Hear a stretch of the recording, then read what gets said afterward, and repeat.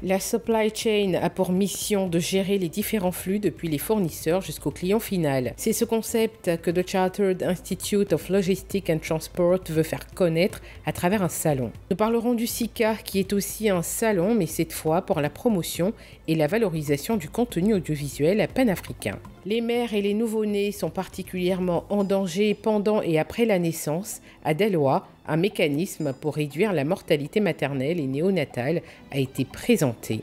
Voilà pour le sommaire, bienvenue dans le 7 minutes.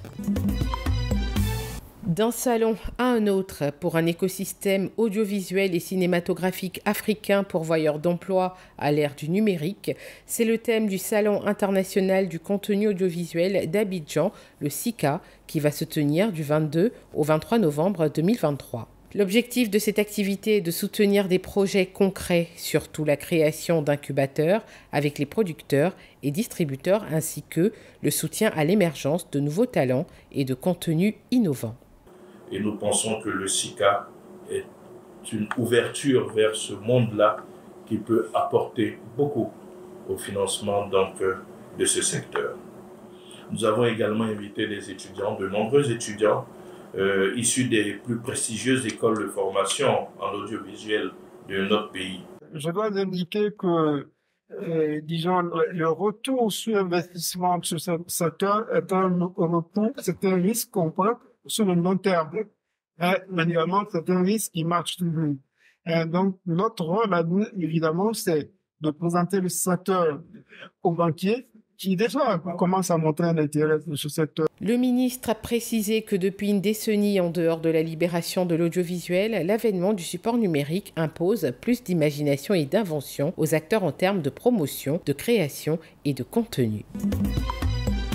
Promouvoir la gestion de la chaîne logistique garantissant le bon fonctionnement d'une entreprise, tel est l'objectif du salon de la supply chain. Il va se tenir du 23 au 25 novembre 2023 afin de valoriser ce concept encore méconnu. La supply chain a pour mission de gérer le transport, la logistique et l'approvisionnement depuis le fournisseur jusqu'au client final. Chartered Institute of Logistics and Transport compte établir ce salon comme la principale plateforme de ce secteur. Le salon a deux volets, un volet scientifique sur le thème la rencontre de tous les acteurs de la supply chain, de développement économique, durant lequel il y aura des conférences, des panels, des ateliers, etc. Et il y aura un autre volet, il y aura une exposition avec les stands qui seront tenus par tous nos partenaires qui viendront présenter leurs activités et présenter les métiers de la supply chain. Cet événement réunira à l'Université Félix Houphouët-Boigny d'Abidjan ateliers, expositions, awards et visites techniques sont entre autres les activités au programme. Et ce sera le lieu plus le MERC aura des, dans un dans un euh, enregistre toutes les les fonctions de notre métier afin de mieux le faire connaître, afin de participer effectivement au économique de notre pays. Donc, euh, nous attendons euh, tous les, on va, tous les, on va dire, tous les acteurs de la supply chain.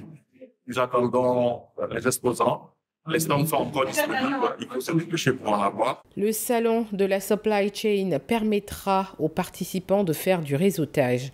Il vise surtout à soutenir et encourager les femmes et les jeunes du secteur.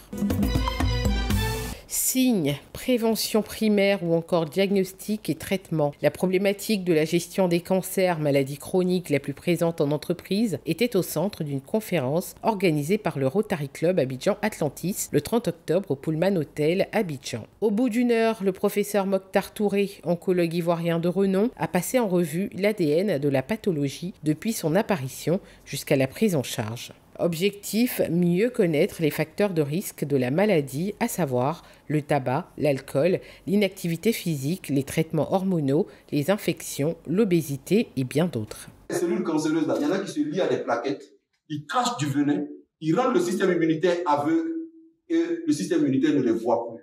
Donc, ils se laissent véhiculer par le courant sanguin. À un moment donné, il sort des vaisseaux, il va au niveau du foie, du poumon, du cerveau, de la peau. On dit le cancer est généralisé, le cancer métastatique.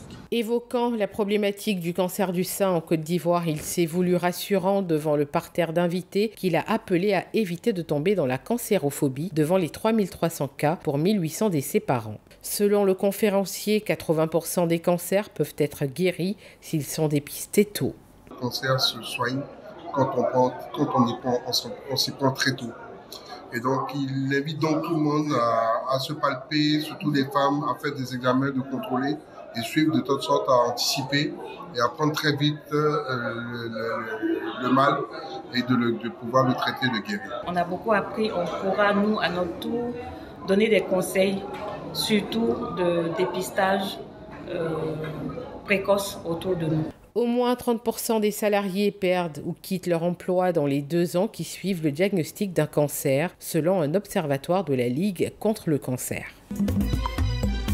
Accompagner l'État dans la lutte contre la mortalité maternelle, néonatale et infantile, c'est l'objectif général que l'initiative Momentum, avec son partenaire financier USAID, se sont fixés en présentant le mécanisme TAAC aux autorités administratives, sanitaires et communautaires de Deloitte. C'est un mécanisme qui va permettre de collecter des informations, des données probantes, afin euh, de pouvoir mieux définir les stratégies. Et les stratégies vont nous permettre aussi d'avoir un élément de redevabilité auprès des partenaires, des partenaires techniques et de mise en œuvre du projet. L'occasion est donc bien choisie pour les responsables de Momentum de présenter les populations cibles du mécanisme et de les sensibiliser à fréquenter les centres de santé dès les premiers signes de maladie. Ce projet est mis en, en œuvre à l'endroit des populations au niveau de la santé mère-enfant, et il a pour objectif final de la réduction des décès maternels et néonatals, la bonne prise en charge du paludisme sur la grossesse, la planification familiale et vraiment le décès néonatal infantile qui est vraiment euh, notre cheval de guerre. Le mécanisme TAAC de Momentum a une durée de 5 ans et vise à réduire la mortalité maternelle néonatale en augmentant l'engagement et la capacité du pays à fournir des soins de santé intégrés et de haute qualité. Voilà qui met fin à cette édition. Merci de nous avoir suivis. L'information continue sur cette info et sur www.cetinfo.ci.